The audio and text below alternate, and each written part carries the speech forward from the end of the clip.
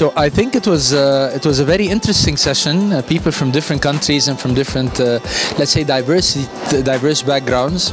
Uh, they're very uh, intelligent. They're hungry for knowledge, but I guess what they really need is to have a very high self of self awareness to know exactly where they stand in terms of their capabilities and their potential, and to do the same for their teams. They need to have very specific goals. We had some interactions. It was very interesting because they have big dreams, but uh, they're so, let's say, so unspecific. They're not specified. They don't know exactly how they will do them. And I think that's a very important step. You must have very clear objectives and very clear uh, timelines and uh, KPIs, key performance indicators for everything they do. What I loved about everybody there is that they're really interested in the human factor. They're so passionate about what they do. They love their jobs. The next step is how can they make this a real professional and very successful business model. I had a speech this morning and I had a workshop on uh, human resources. Um, I think it's very important and I was very happy for that. Uh, the program for this uh, leadership summer school is really uh, very impressive.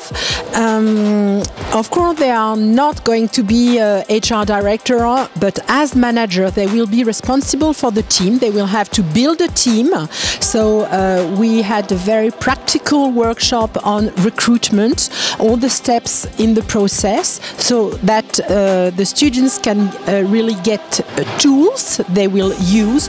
Of course, HR is very dependent and connected to the cultural environment, and it's very different from one country to another country, and most of the time it's also different uh, in the same country from one company to another institution. But um, this morning we really had a very practical workshop. Alla M School per presentare un laboratorio di tinkering.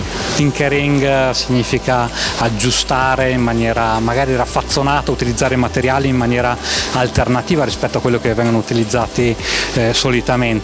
Eh, questo è un metodo di approccio in cui si impara facendo, il learning by doing.